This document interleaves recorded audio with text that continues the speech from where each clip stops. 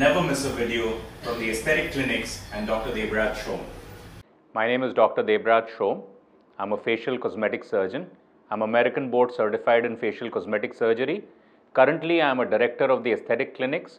We run a chain of centers which are located in multiple cities in India. Today, with the advent of social media and the fact that all of us are using the cell phone more as a camera and less as a talking device, everyone or most people, even if it's not everyone, want to probably look better than they looked yesterday. That is what is driving the global fad of cosmetic surgery. It doesn't have to be surgery, it could even be non surgical procedures. But if you stopped an average Joe on the street and asked them whether they wanted to look younger, fresher, more rejuvenated, the answer would probably be yes. It is this which is driving cosmetic procedures all across the world. India is actually the place whether it's number five on the list of the cosmetic surgery procedures being provided all across the world. Cosmetic surgery procedures globally are not covered by insurance, which means that the average person living in the US or the UK would want to come to a place where the cost of cosmetic surgery is one tenth or one fifteenth of what it would be in their nations. This is where India comes in. The fact that most Indians speak decent English the fact that there is a highly educated population which is available here and the fact that Indian doctors are generally well respected globally means that a lot of people would like to come in here for cosmetic surgery and that's leading to the increasing trends of cosmetic surgery which are being seen in India on a daily basis.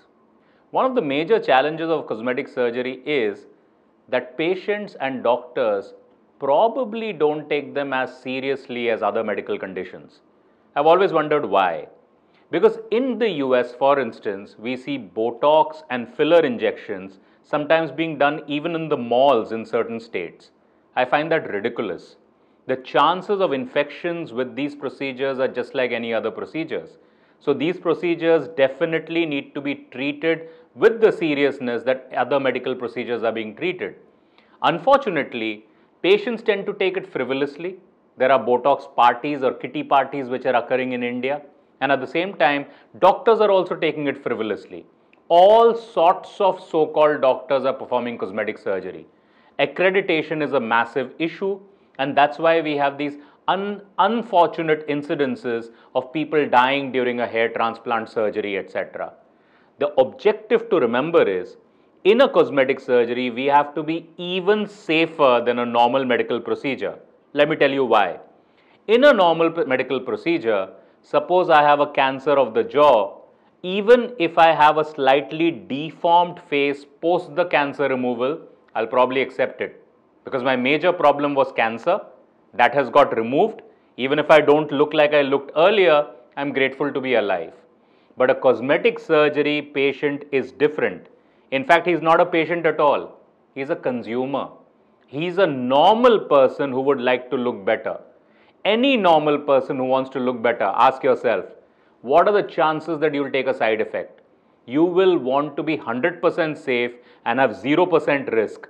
Therefore, for cosmetic surgeries, actually, we need to be safer than other surgeries because it's normal human beings we are dealing with, those who don't even have any disease or infirmity. So, from that perspective, that's the point where I think there's a big inflection point waiting upon us for this to change, become safer, and be treated higher than any other medical procedure so that safety of patients and of the procedure remains paramount.